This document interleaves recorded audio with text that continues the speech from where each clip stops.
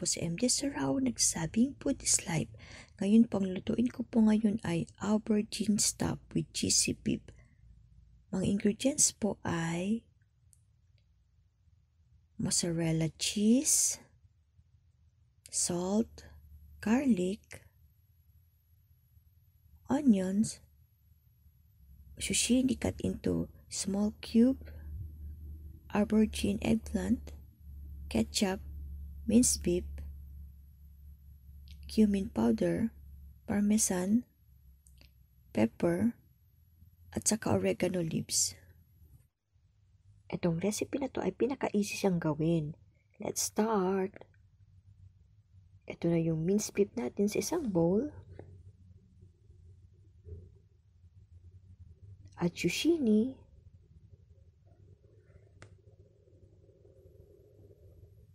onions,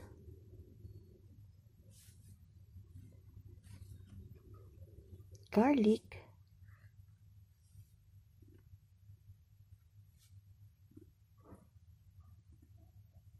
oregano leaves,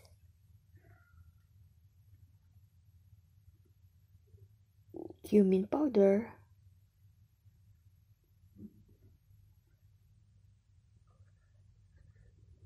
ground black pepper,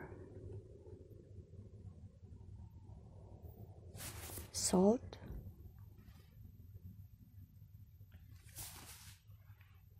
ketchup,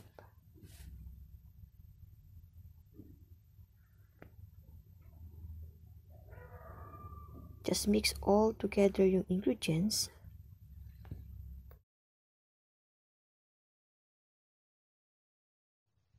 Preheat oven with 190 Celsius for 10 minutes.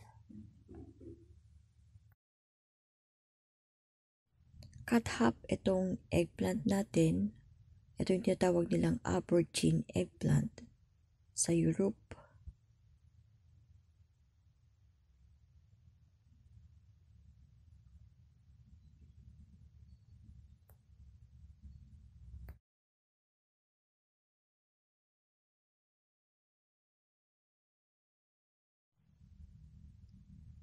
Ito na yung cut natin na aubergine.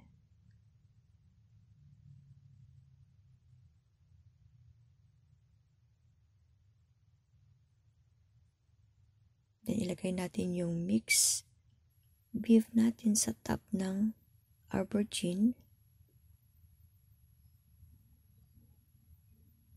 Ayusin natin para hindi mahuhulog.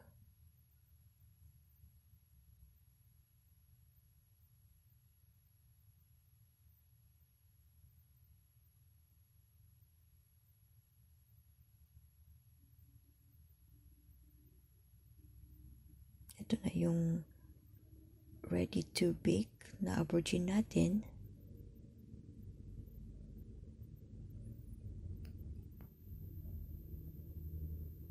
Then maglagay tayo ng mozzarella cheese at saka parmesan cheese on top of the aubergine.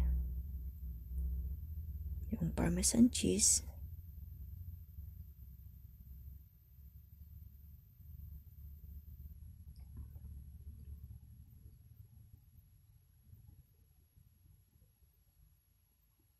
and mozzarella cheese.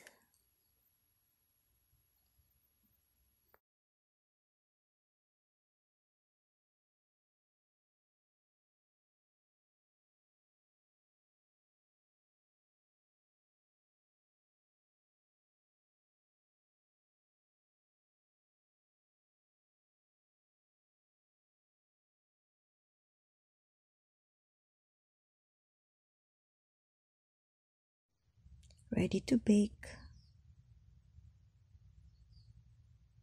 Bake for 30 minutes with 190 Celsius.